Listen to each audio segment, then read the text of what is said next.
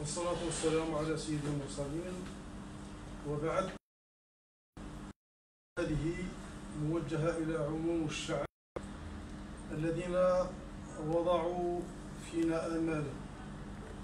وموجهة على الخصوص إلى أعطوا فينا ثقة تامة وراهنوا على الخطوات التي بذلناها حين انطلقنا من قاعدة صفرية ثم تدرجنا معهم وبرفقتهم إلى أن وصل الزخم إلى ما قد تكون لاحظتموه بعين العقل وبالبصر.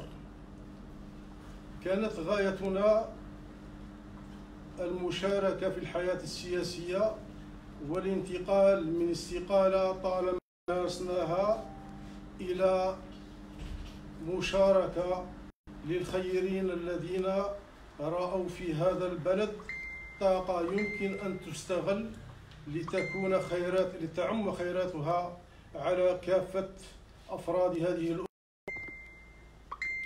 ثم كلمتنا موجهة على الخصوص إلى كل من ساند في مهمة جمع الاستمارات التي كانت عسيرة بمقدار البيروقراطية التي واجهناها اختلقتها بعض الأحزاب التي على البلديات وفق انتخابات الجميع يعرف الجميع يعلم مسارها ومآلاتها.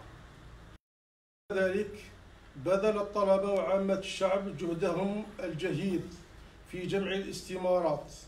ومن أجل جهدهم هذا وفاء قدمنا الملف إلى السلطة المستقلة.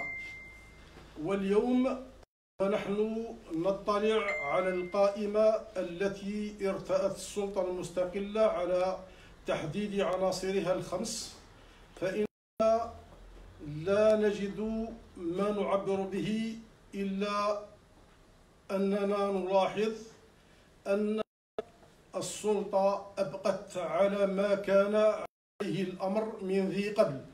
فلذلك وجه جديد ضمن هذه القائمة السلطة اعتباراتها وعليها أن تقدم للشعب لا لنا مبرراتها التي تراها قوية ومسندة لهذا الرأي.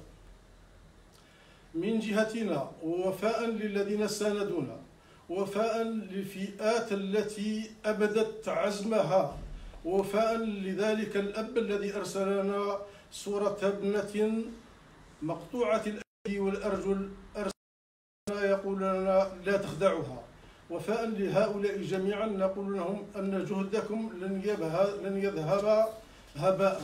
سنواصل بعزم العمل على تحقيق أهدافكم وأحلامكم. نحن دعاة فكرة ولسنا دعاة أشخاص. نجمع الطلبة والأساتذة وكل الخيرين هذه الأمة في بوتقة واحدة. نعمل على تحقيق أهداف هذه الأمة دون هوادة.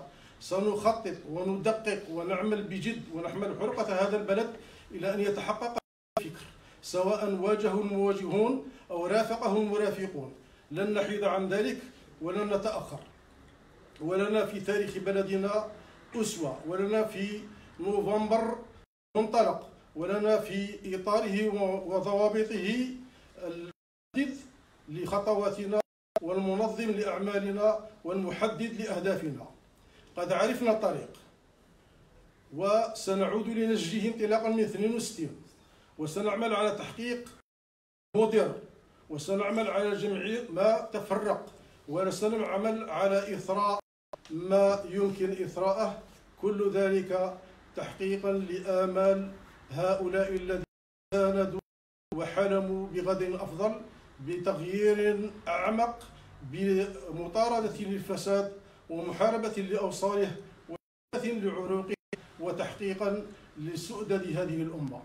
أشكركم جميعا وأتمنى من الله سبحانه عز وجل أن يسدد خطى هذا البلد وأن يجند له طريق الخيرة وسنعمل إن شاء الله على مواصلة هذا الدرب معكم وبرفقتكم وتحت هداية الله سبحانه عز وجل. والسلام عليكم.